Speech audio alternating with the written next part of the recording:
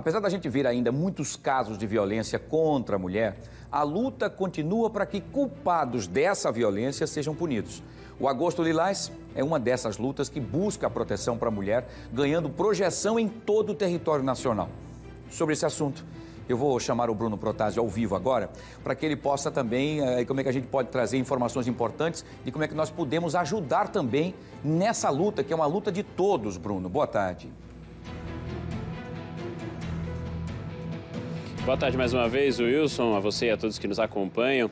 E a gente fala muito sobre isso e o Agosto Lilás vem como uma ferramenta muito importante para dar visibilidade é, e também promover o debate e conscientização das ações que são necessárias nesse combate à violência contra a mulher. Nós vamos entrar mais nesse assunto do que vai ser desenvolvido a partir de agora, neste mês tão importante, com a Paula Lopes, que é advogada eh, do Centro de Defesa dos Direitos da Mulher. Paula, boa tarde. O que, que tem programado para esse mês de agosto aqui para o estado de Alagoas quando a gente fala nesse tema? Boa tarde.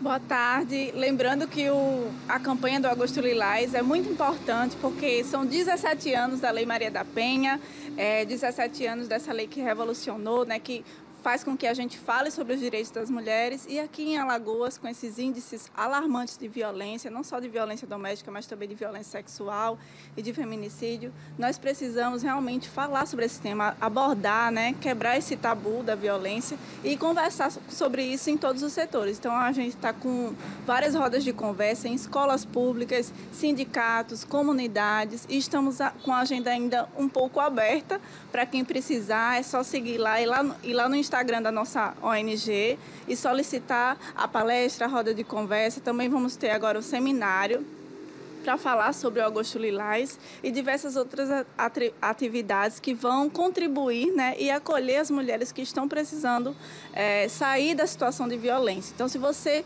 mulher, que está passando por alguma situação de violência nesse momento, procure ajuda agora, né? Não espere para depois, porque pode ser tarde demais. Quando a gente fala da violência contra a mulher aqui no estado, qual é a realidade hoje? Quantos casos o centro tem acompanhado, de denúncias que chegam, de acompanhamento é multidisciplinar para as mulheres, enfim. Hoje, quando a gente olha para o nosso estado, é, quais são esses dados, quais são essas estatísticas? Bom, o que a gente tem é que os dados aumentaram, somente a violência do estupro, por exemplo, cresceu 34%, né? Tivemos no ano passado é, 31 casos né, de feminicídio. Estamos acompanhando assim muito vigilantes, com muita preocupação, mas também entendemos que a rede tem crescido, né, que temos mais serviços de atendimento e acolhimento à mulher, mas ainda não são suficientes, como por exemplo o próprio Benedito Bentes, que é um bairro gigantesco e precisa lá de um serviço de atendimento às mulheres vítimas de violência. Hoje a gente está fazendo esse atendimento gratuito, né, com advogadas, assistentes sociais e psicólogas no bairro do Antares, atendendo Santa Lúcia, Benedito Bentes e toda aquela região região da parte alta, que é uma região desprovida né, desse atendimento, mas a gente vê com muita preocupação, principalmente no interior e na, nos bairros mais periféricos. A gente precisa de mais atendimento, de mais acolhimento e de mais acesso a esses direitos, porque não basta só falar denuncie, denuncie, denuncie.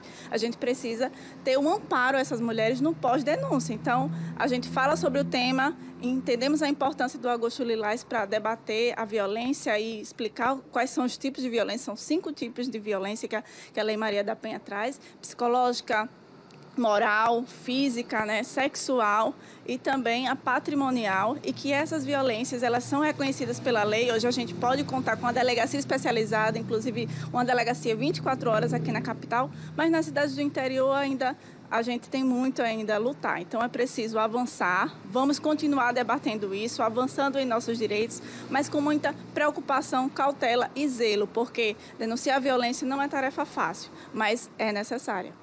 Importante esse alerta sobre os tipos de violências que existem e se tiver alguém, por exemplo, nesse momento nos acompanhando que passa por isso, quer entrar em contato com o centro, como é que é feito esse acolhimento, o trabalho de vocês? Bom, a gente recebe a demanda pelo Instagram, pelo telefone, né, que esse telefone aí que acredito que está passando na tela, e também é, a gente vai até as comunidades, né, através de palestras, de, de trabalho de conscientização, Então, quem estiver passando por essa situação, procure ajuda, procure o Centro de Defesa dos Direitos da Mulher. Se for uma situação muito urgente, liga 180 ou 190, que é da Polícia Militar, mas não deixe de pedir ajuda. Nem que seja para tirar uma dúvida ou sair de um local para outro que seja mais seguro, mas não deixe de pedir ajuda. Como diz a própria Maria da Penha, né? A vida começa quando a violência termina. E é a partir dessa, desse, desse fim da violência que a gente quer reescrever as nossas histórias. Paula, muito obrigado pelas informações ao vivo com a gente no Fique Alerta, Wilson. São ações extremamente importantes. O Agosto Lilás vem para dar esse suporte ainda maior, que é um mês todo voltado para a gente discutir, debater este tema.